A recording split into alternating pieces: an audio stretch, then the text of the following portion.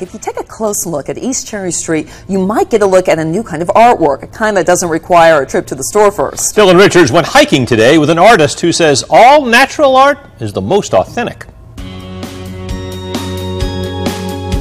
Such beautiful stuff. Ashley Blake can tell you where he found all the stuff in his garden. The weeds that people will pull out of their yard. This was an old plastic Halloween mask. That was in the trash. It is too cute, ain't it? If other people won't recycle their stuff, Blake will do it for them. Everybody recycle. Or dump it off at my house, I'll recycle it. Or maybe not. no, don't, really don't. Because Blake likes to go out and hand pick things himself. Everything in my yard, I picked, I put my hands on especially and said, you're going with me. Just like this, actually.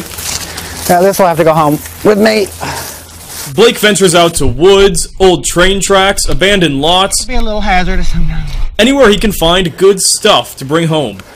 But soon, he hopes to bring the stuff somewhere it, I got it, I else too. To downtown Macon, Cherry Street to be exact. He's even got shells. That's where Wendy Neptune was Monday, admiring Blake's downtown designs. It really makes people stop and take a, take a second glance. A second glance because it doesn't look planned or fake, it looks real. As for why, I guess because it's not perfect and nobody's perfect. Nothing's perfect. I don't care how perfect it looks, it's not.